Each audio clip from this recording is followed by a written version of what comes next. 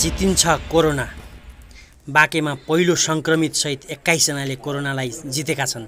हामी यति बेला बाँकेको सुशील कोइराला प्रखर क्यान्सर अस्पतालमा स्थापित कोरोना आइसोलेसन अस्पतालमा छौँ। अब केही बेरमै पहिला बाँके जिल्लामा पहिलो सङ्क्रमित सङ्क्रमित प्रमाणित भएका मुअज्जिनसहित एक्काइसजना बिरामीहरू सकुशल बाहिर निस्किँदै हुनुहुन्छ। उहाँहरू अब कम्तीमा एक हप्ता आफ्नो होम क्वारेन्टाइन होम आइसोलेसनमा बसेर उहाँहरू आफ्नो चाहिँ सस्वस्थ फेरि रिचेक गर्नुहुन्छ र स्वस्थ भएको प्रमाणित हुनेछ।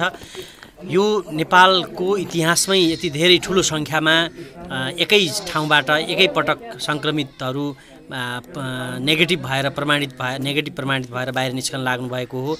सञ्चारकर्मीहरू बडो उत्साहका साथ पर्खिरहेका छन् कि कति बेला आइसोलेसन अस्पतालबाट सङ्क्रमित निको भएका सङ्क्रमितहरू निको भएर निस्कँदै हुनुहुन्छ। सबैको ध्यान यति बेलै छ। पहिलो जब बाँकेमा पहिलो सङ्क्रमण फेला पर्यो एउटा सन्तासको अवस्था थियो भने आज उहाँसहित एक्काइसजना जब बाहिर निस्कँदै हुनुहुन्छ अब आफ्नो घर जाँदै हुनुहुन्छ उहाँलाई स्वास्थ्य कर्मीहरू जो अहोरात्र आफूलाई जोखिममा राखेर सेवा गरे उहाँहरूलाई विशेष धन्यवाद उहाँहरू बिरामीहरूलाई स्वस्थ भएकाहरूलाई फुलमालासहित विदाई गर्दै हुनुहुन्छ। सञ्चारकर्मीहरू त्यसको दृश्य लिन आतुर हुनुहुन्छ। नेपालगञ्ज मात्रै होइन यति बेला मुख्यमन्त्री प्रदेश पाँचका मुख्यमन्त्री शङ्कर पोखरेलले समेत उहाँहरूलाई बधाई दिइसक्नु भएको छ। चिकित्सकहरूलाई धन्यवाद दिइसक्नु भएको छ।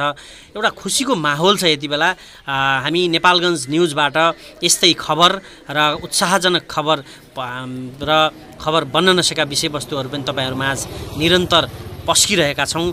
यो आजको शुक्रबार एउटा चाहिँ एउटा सन्देश प्रवाह गरेको छ यसले कि कोरोना लाग्दैमा आत्तिनु पर्दैन कोरोना पोजिटिभ भेटिँदैमा आत्तिनु पर्दैन भन्ने कुराको प्रमाणित हो यो।